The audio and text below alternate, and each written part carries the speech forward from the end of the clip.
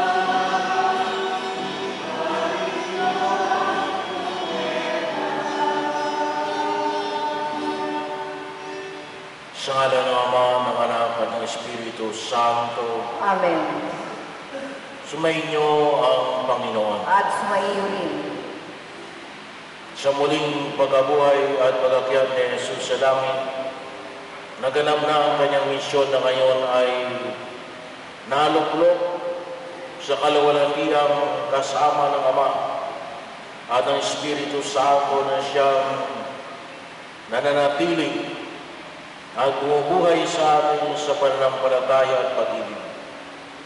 Kasabay ng linggo ng pag-akyat sa langit, ay ating pinagdiriwang din ngayon ang ikalat, ikalimangput isang pandaigdigang araw ng komunikasyon na may temang Huwag matakot sa bagat ako'y suma sa iyo. Pag-ahayag ng pag-asa at tiwala sa ating panahon. Inatasan tayo ni Jesus na isa buhay at ipahayag ang mabuting balita kaya naman hilingin natin ang kapayapaan sa mga pagkukulang na nagawa natin. Panginoong Yesus, Ikaw ang liwanag ng mga pusong nag-aalinlangan at napapalo sa kadiliman.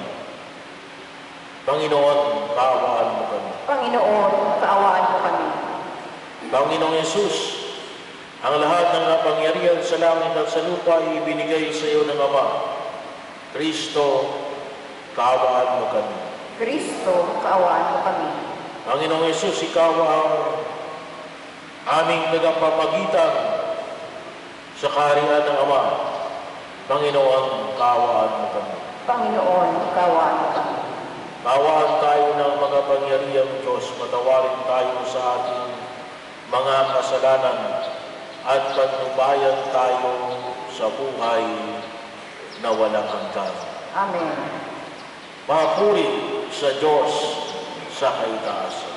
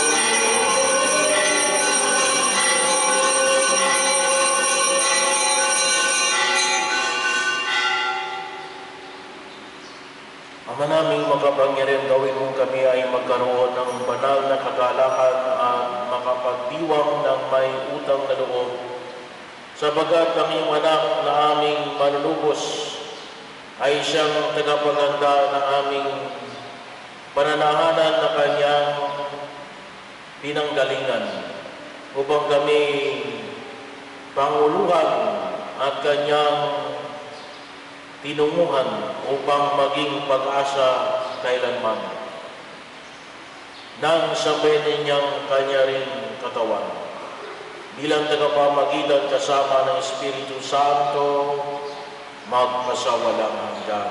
Amen.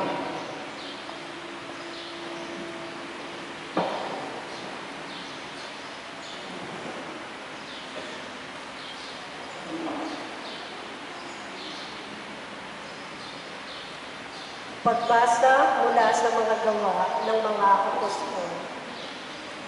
Mahal na Teofilo, isinasalaysay ko sa aking unang aklat ang lahat ng ginawa at itinuro ni Jesus buhat sa pasimula hanggang sa araw na siya ay umakyat sa langit. Bago siya umakyat, pinagubilinan niya sa pamamagitan ng Espiritu Santo ang mga apostol na kanyang inirang. Pagkatapos ng kanyang pagbabata, maraming ulit siyang napakita sa kanila. Sa gayon, napatunayang siya ay buhay. Nagpakita siya sa kanila sa loob ng apat na araw at nagturo tungkol sa paghahari ng Diyos. At samantalang siya ay kasama pa nila, kanyang pinagubilinan sila.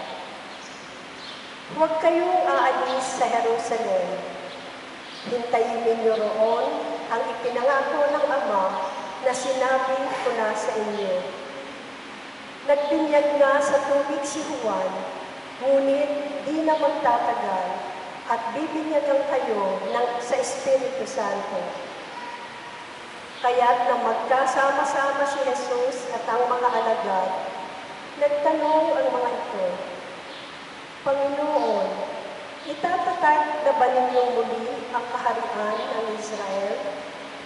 Sumagot siya, Ang mga panahon at sandali ay itinakda ng Ama sa kanyang sariling kapangyarihan at hindi na kailangang pang malaman ninyo kung kailan iyon.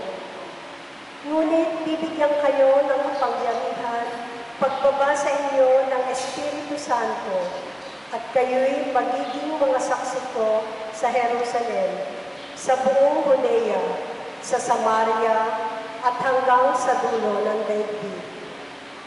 Pagkasabi nito, siya ay iniakyat sa langit, samantalang nakatingin sila sa kanya at natakpan siya ng ulan. Habang sila'y nakatitig sa langit, dalawang lalaking nakaputi ang biglang tumayo sa tabi nila.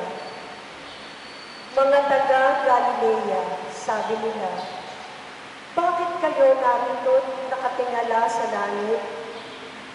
Itong si Jesus na umakyat sa langit ay magbabalik tulad ng nakita ninyong pag-akyat niya. Ang salita ng Diyos. Salamat sa Diyos.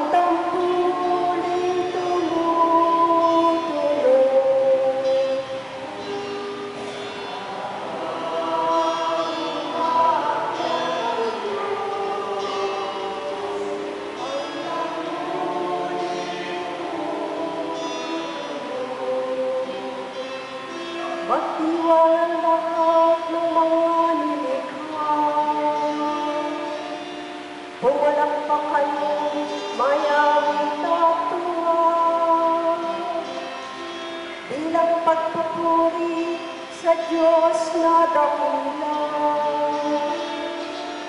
Ang Diyos na po'y kataas-taasan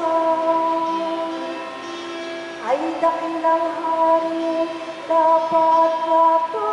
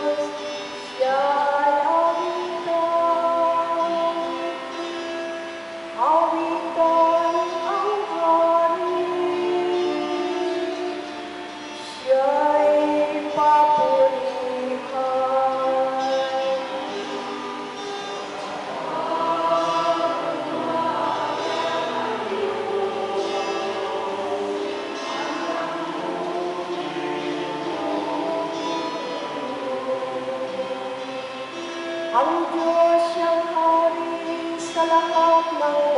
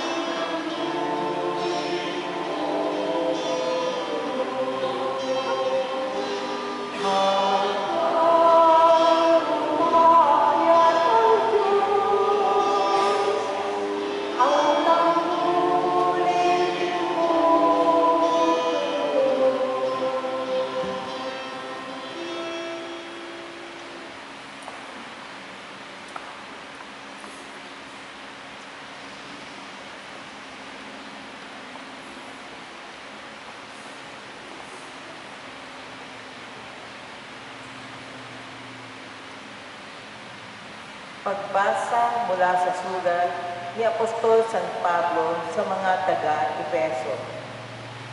Mga kapatid, hinihiling ko sa Diyos na ating Panginoong Heso Kristo, ang dakilang Ama, na pagkalooban niya kayo ng espiritu ng karunungan at ng tunay na pagkakilala sa Kanya.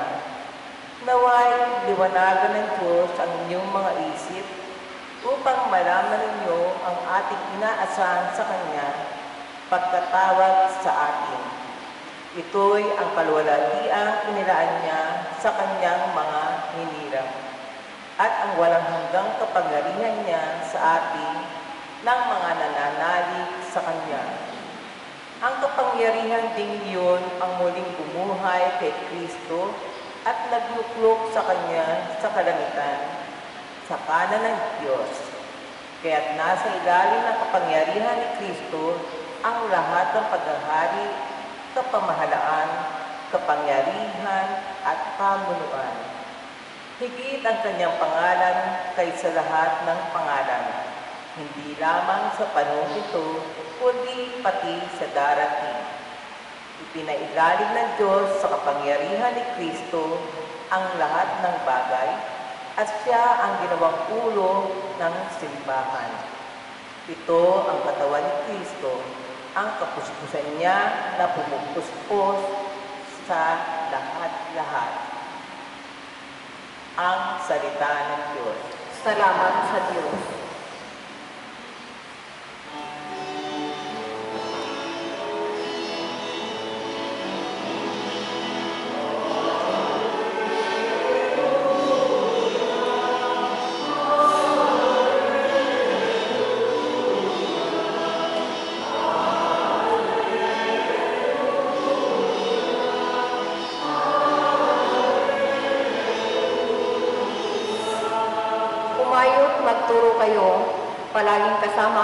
Hanggang sa wakas ng mundo.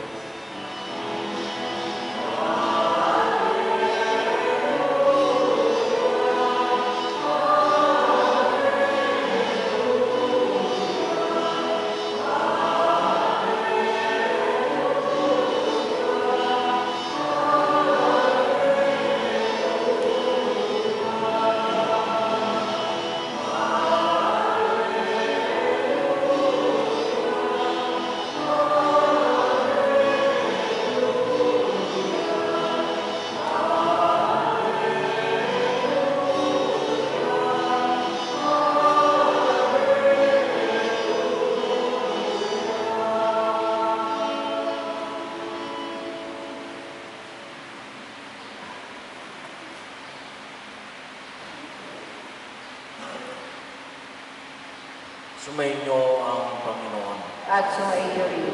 Ang mabuting, ang wakas ng mabuting balita ng Panginoon ayon kay San Mateo.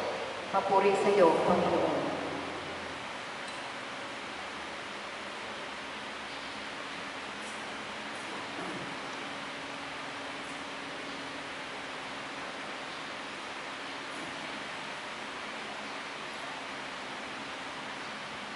Noong panahon ng labing isang alagad ay nagpunta sa Galilea sa bundok na itinuro sa kanila na Jesus. Nang makita nila sa Jesus, siya ay sinamba nila. Bagamat may ilang nag-alinlangan, lumapit si Jesus, sinabi sa kanila, Ibinigay na sa akin ang lahat ng kapangyarihan sa langit at sa lupa. Kaya humayo kayo at gawin ninyong alagad ko ang lahat ng bansa.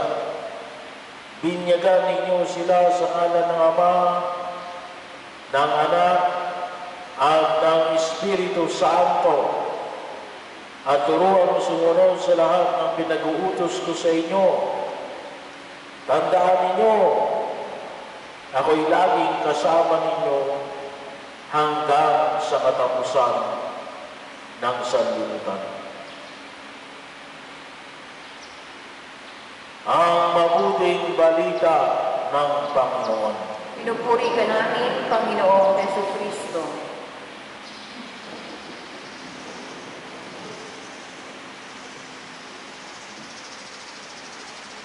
Sumainyo ang Panginoon. at sumaiyo rin. Ngayon po ay ang dakilang kapistahan ng pag-akyat ni Jesus sa langit. Ang ikapitong linggo ng muling pagkabuhay ay ang linggo ng pag-akyat ni Jesus sa langit. Ang huling linggo na panahon ng pagkabuhay sa iyong kwaresma ay may limang linggo. Ang muling pagkabuhay ay may pito. At ito'y nagtatapos sa araw, at sa linggong ito. Hindi sa araw na ito, ngunit sa linggo. Kasi tayo po ay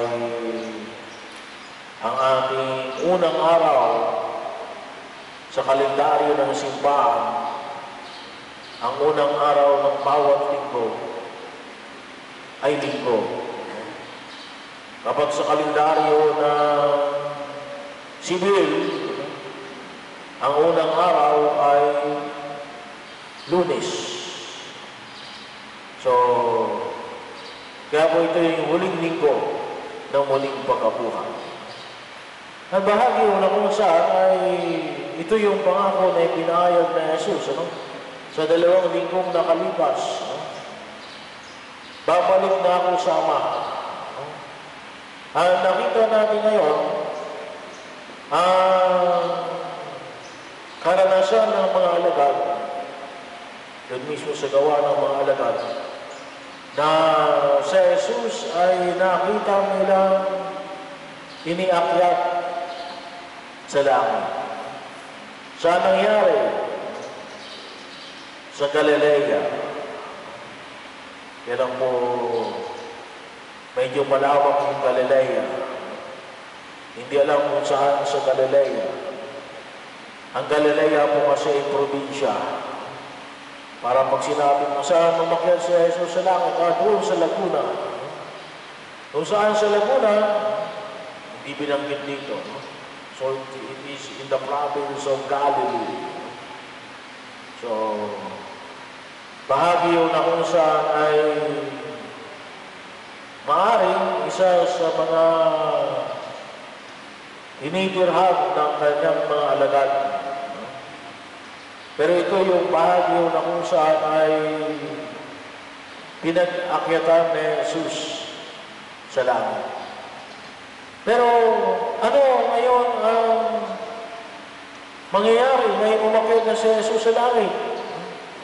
Kung paniwalaan natin na si Jesus ay umakyat sa langit, ano ang sinabi ng dalawang anghel na ipinahayag ko sa aklat ng mga- sa mga gawa ng mga apostol? Bakit kayo nakatunganga sa langit? So baka naman yung ating pagkaunawa lang, si Kristo yung umakyat sa langit, pagkatapos si Alin, nakatunganga lang tayo. Hindi. May kinakailangan tayong gawin. At ito yung kanyang paanyaya sa bawat isa sa atin. Sa bawat mananampalataya. Ano yun? Na ang kanyang pag sa langit at ang kanyang pagbalik sa Ama ay mayroong ipinagagawa sa atin. Ano yung pinagagawa sa atin? To continue His mission. Ipagpatuloy ang kanyang misyon. Partikular ano? Gawin ninyong mga alagad ko ang lahat. Gawin ninyong mga alagad ko ang lahat ng bansa. Yun yung kanyang habilin sa kanyang mga alagad at sa mga nananalig sa kanya. Gawin ninyong mga alagad ko ang lahat ng bansa. At ito yung may tatlo. no? May tatlong ipinahayag na kung saan ay papano, kung paano ito isa sa katuparan. Una, binyagan ninyo sila sa ngalan ng Ama at ng Anak at ng Espiritu Santo. So, bahagi yun na kung saan ay ito'y hindi lang o yung formula na ginagamit natin sa pagbibinyag. Pero kasi mahalaga ito po kasi yung pinakasentro ng ating pananampalataya. Kung tawagin po natin ay Trinitarian. Iisang Diyos na may tatlong persona, Ama, Anak, at ang Espiritu Santo. Yan din po yung formula na ginagawa natin sa binyag na makita po natin. Pero pag sinabi mo natin na ito yung ating pamamaraan ng pagbibinyag na pinahayag na Jesus kasi ito rin yung sentro ng ating pananampalataya. Dinadasal palagi natin sa dasal na sumasampalataya. Ang Diyos na pinaniwalaan natin ay tatlong persona sa isang Diyos. Yun naman ay doon sa sa kabistahan ng banal na sa tatlo. Pagkatapos ng pagkapadala niya ng Espiritu Santo, mga two weeks from now. Pero nais ko lang pong bigyan pa sila. Ito yung mahalaga kasi una, na baka mamaya, kasi may meron tayong mga mananampalatayang Kristiyano na hindi katoliko, na alin? Ang paniwala lamang ay ang Diyos Ama. Ang Diyos Ama. Hindi sila naniniwala na si Jesus ay Kristo na si Jesus ang tagapagligtas. Ang paniniwala lamang nila ay si Jesus ay isa lamang propeta. Tulad na limbawa ko ng ano? Iglesia ni Cristo ng Mormons ng Seventh-day Adventist yung kay Kibuloy to name the few ano lang, ah, sa kanila lamang ay Diyos Ama pero ang tawag nila sa kanilang sarili Kristiyano. Mayroon nila naman na ang kanila lamang binibigyan pansin nila din ang Espiritu Santo. Kaya po may tinatawag tayo kalin, Pentecostals. Pentecostals. Ang kanilang binibigyan din lamang alin, yung Espiritu Santo. Sa akin hindi ho. Kaya nga, yung pamamaraan ng ating pagbibinyag ay ginagamit natin na binibinyagan kita sa ngalan ng Ama at ng Anak at ng Espiritu Santo sa sabihin ng pangalan. At isa rin yung bahagi rito, alin, yung kung tawagin po natin ay yung paghahanda natin sa binyag. Kaya sa mahalaga na kung saan ay patuloy natin paanyaya. Pero bahagi rin dito yalit, yung tinatawag nating emergency baptism. So, kuminsan ako kasi may mga tao na father, no? ay hindi pa ako mabibinyagan pero pwede ko bang buhusan ng tubig, yung buhos tubig. Sabi ko ay ipagdarasan na lang natin, huwag nating ibuhos tubig. Bakit? Yung buhos tubig ay alin? In danger of death.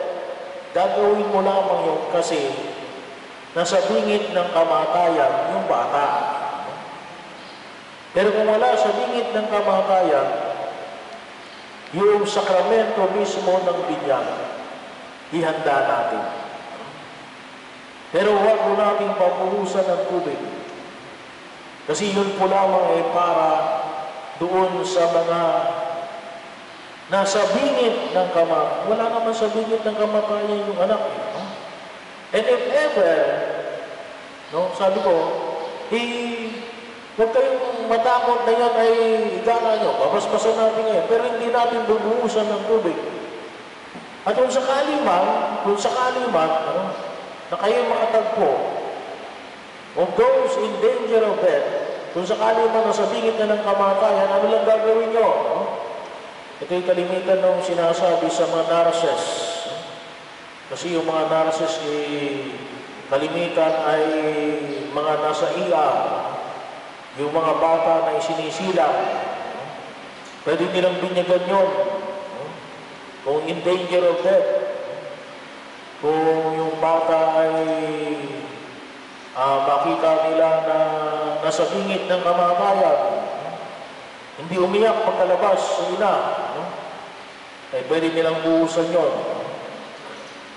So, pero ang sino mang Kristiyano ay pwedeng magbinyag in danger of death, kukuha lamang ng isang malinis na tubig, sasabihin, sasabihin yung pangalan ng bata na ibinigay Halimbawa kasi binibinigan kita sa ngalan ng Ama at ng Anak at ng Espiritu Santo. So bahagi po yan. Pero napakahalaga po yung sakramento ng binyag. Pero nais ko lang bigay yung in of death. Pero ang mahalaga rin, pabinyagan.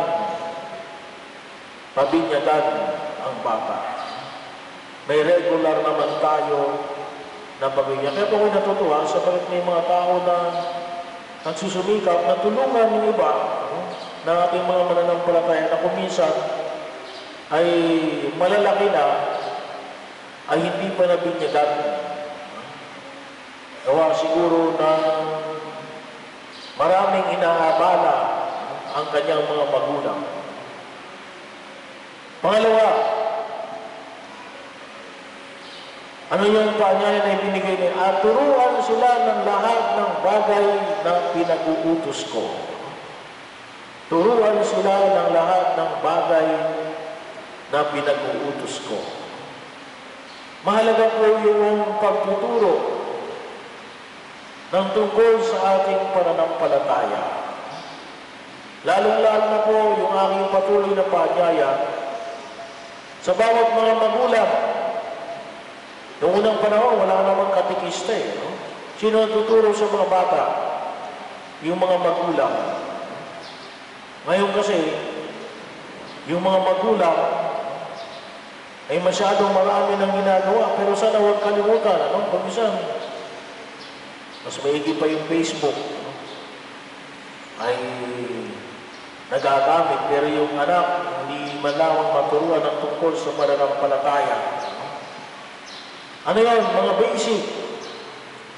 Mga basic na kinakailangan malaman. Kasi bakit? Sa Ebanghelyo na ipinahayag doon natin, ah, sorry, hindi yung sa Ebanghelyo, ngunit sa ikalawang pagbasa, sa sulat po ni San Pablo sa mga taga-Efeso. Anong sabi po ni San Pablo sa mga taga-Efeso? Your knowledge of Christ, ang pagkilala mo kay Kristo, ang magbibigay sa iyo ng karunungan at pagpapahayag. Bubuksan niya sa iyo ang papahayagan ka ng Diyos ng mga bagay na siyang magtuturo sa inyo tungkol sa bagay na ito. So ayan niyo pala- muli kong ulitin yung ipinahayag ni San Pablo sa mga taga-Efeso. No? Mga kapatid, inihiling ko sa Diyos ng ating Panginoon sa Kristo, ang dakilang Ama, na pagkalooban niya kayo ng Espiritu ng karunungan at ang tunay na pagkakilala sa Kanya naway liwanagan ng Diyos ang inyong mga isip upang malaman ninyo ang ating inaasahan sa Kanyang pagkatawag sa atin. Ito'y ang kaluwalhatiang inilaan niya sa Kanyang mga hinirang at ang walang hanggang kapangyarihan niya sa atin ay ang manalig sa Kanya. So, bahagi yun na kung saan ito, yung resulta ng pagkakilala natin kay Jesus. Karunungan sa pang-araw-araw nating buhay. At yun po naman yung ituro natin sa tao. Lalong-lalo na ho sa mga magulang sa inyong mga anak. Hindi po yung ating pananampalataya, isang pananampalataya, o hindi yung isang kaalaman lamang tungkol sa mga bagay na espiritual, ngunit nagkakabay din po sa atin tungkol sa ating pagkilos sa araw-araw na ito. Katulad po halimbawa ng ano? Well, sabi nga natin ay sa maraming bagay, katulad po ng pagkain, may pinagbabawal ba sa ating pagkain? Kadal sabi mo ng iba, bawal ito. Oh, bawal yan, sa lumang tipan. Pero sa bagong tipan, wala nang ipinagbabawal. Wala nang ipinagbabawal. Ano lang ang sabi? Take everything in moderation. Kainin niyo ang lahat. No? Pero huwag maging matakaw. Tama lamang. Yun yung panyayan ay pinahayag ng buong may kapal. Well, maliban na lamang doon, kapag kayo may sakit, yun, pinagbabawal. Pero lahat ng nilikha ng Diyos, ay ba, kina, ay walang ipinagbabawal. Bakit? Ang bawat kung tawagin po natin, may mga pagkain kasi na nagbibigay ng iba't ibang pangailangan ng tao. Protein, na fiber, na ah, carbohydrates. Hindi makukontain yun sa isang pagkain lamang. Ano? Na pwede mong kainin na ito lang ang pwede mong kainin para sa lahat. Hindi. Ano? Ginawa ng Diyos ang lahat ng bagay no? na yung lahat ng attributes ay pinag-iwahiwalay. So ang bawat pagkain may kanya-kanyang kakayanan na magbigay ng lakas sa bawat tao. Kung sakali naman halimbawa na itong binigay ng pagkain ng Diyos ay maaaring gawa ng ating karamdaman, ah, yun ang maaaring pwedeng huwag natin kainin. Pero on the moral ground, maliwanag niya sinabi ni Jesus dahil walang pagkain, pwede niyong kainin ang lahat ng yan. Ano ba?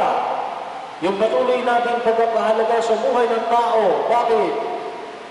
Na pa- palagi natin ipinagdarasal sabagat ang Diyos lamang ang mayroong kakayanan na magbigay ng buhay at ang bumawi nito.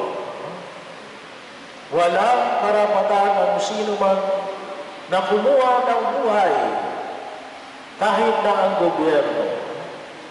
Padre, masama yun eh. Kulong mo. Huwag mong patayin. So saan yung pinakabahagi na kung saan magta po natin? Tatlo. No? Ang pwede natin panggalingan ng maging pamantayan natin. Basic. Ano itong tatlong ito? Ang sampung utos ng Diyos. Yung limang utos ng Santa Iglesia. Itong dalawang ito, sigurado napasa ulo sa atin ito nung tayo ay bata. Pangatlo ay alin? Yung walong pagpapala. Eight Beatitudes. Itong eight Beatitudes, kuminsan hindi napapasa ulo sa atin. Pero maganda rin yung sa ulo natin. Itong tatlong ito, yung pwede natin maging pamantayan na makita natin na ito, no? ito yung mga itinuturo sa atin. Kung mga, yung sumasampalataya, kung makita po natin yung paliwanag sa sumasampalataya, no? Yung 12 articles of faith, pwede rin ano? Pero yun, kinakailangan natin na ang pagkakilala natin kay Kristo ay magdulot sa atin ng karunungan at pagpapahayag ng mga katotohanan na nangis ng kaiwalig sa para maging gabay natin sa ating pang-araw-araw na pagkilos. Kaya ang tawag natin nga rin, ang ating pananampalataya ay ang pamamaraan ng buhay. Ang pamamaraan ng buhay na kung ay magdudulot sa atin ng kagalakan. Kagalakan na hindi mananakaw ni naman. Sa baba ng pamamaraan, so bahagi po rito, yung pangatlo, ano yung pangatlo? Yung pangatlo ay ako'y palaging kasama ninyo hanggang sa huling sandali.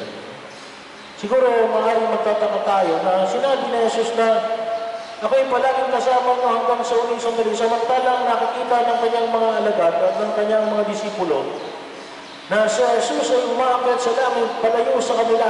No? Kasi darating po yung Espiritu Santo next Sunday.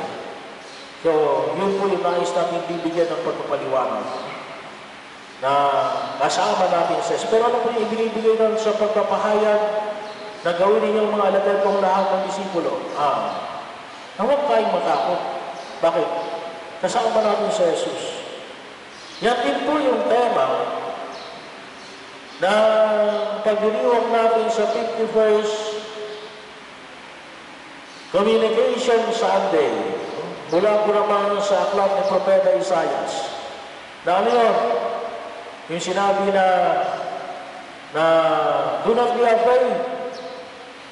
I am always with you. Huwag kayong matakot, ako'y kasama ninyo. So ito po yung pamamaraan na kung saan makita natin. Maaari mo, hindi mo natin isipin na atin na kailangan natin na gawin ito sa malaking pamamaraan. Hindi mo. Kung niyo po mapapansin, katulad po halimbawa sa sulat ni San Pablo, yung mga sulat ni San Pablo, katulad po ng ating kalawang pagbasa, kalingin niya ibinigay sa mga taga-Efeso.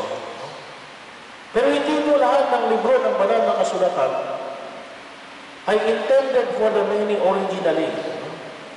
Katulad po halimbawa ng alin, pwede ko kasi na, ha, kahit na itong isang ito, maturuan ko lamang ng tungkol sa aking pananampalataya, mababinyagan, okay na. Kasi bakit? For example po yung sumulat ng unang pagbasa, yung gawa ng mga apostol. Kung niyo po mababasa sa gawa ng mga apostol, kanino ba, kanino ba diniligate yung Acts of the Apostles? Ang sumulat po rito ay, sabi po ng sumulat dito, sa gawa ng mga apostol, kasi po chapter 1, verse 1 to 11, ano pong sabi rito kanina? Sabi ay, mahal na Theophilo. So, para pala kay Theophilo, yung gawa ng mga apostol. Isang tao lang.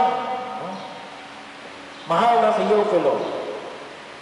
Isinalaysay ko sa aking unang aklat. Ah, may unang aklat na pala. Ang sumulat ng ang gawa ng mga apostol. Sino bang sumulat ng gawa ng mga apostol at ano yung kanyang unang aklat? Yung unang aklat na kasi anong sabi niya? Sa lahat na ginawa at inuro ni Jesus, buhat sa pasi